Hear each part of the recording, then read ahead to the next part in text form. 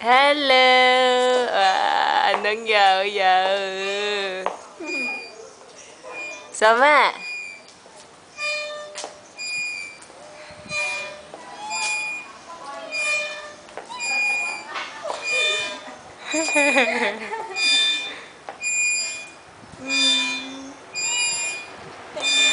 ở ly hay. Ừ.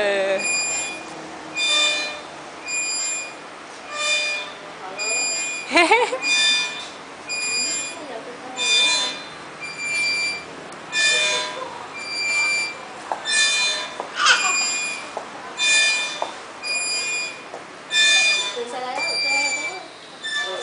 Đó.